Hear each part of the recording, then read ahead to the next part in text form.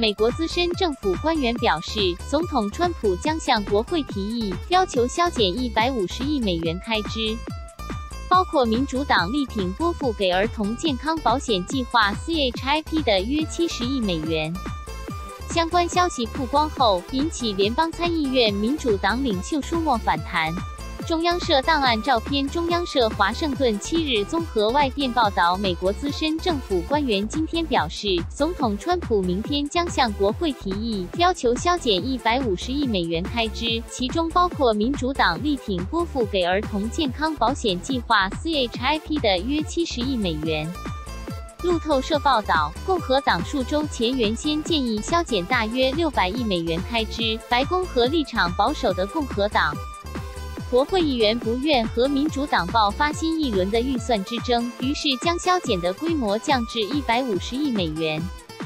资深政府官员说，初步的削减预算计划锁定未用的联邦资金，这对二月达成的两年预算协议没有影响。一名官员说，未来将会削减更多无效的预算计划，其中包括川普希望从预算协议中砍掉的一项大笔支出。削减儿童健康保险计划预算的提议，已引起联邦参议院民主党领袖舒默查克·舒默反弹。相关消息曝光后，舒默发表声明说，对川普总统和共和党而言，破坏我们健保系统，对中产家庭构成伤害似乎仍嫌。不足，他们如今将目标锁定数以百万计儿童仰赖的健保预算，尤其是在流行性感冒和其他致命疾病爆发的时期。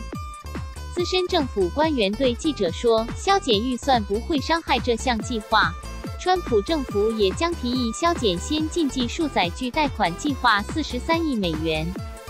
官员说，自2011年以来，这项计划未再贷出任何款项。记者刘文瑜，核稿：严思琪，一百零七万零五百零。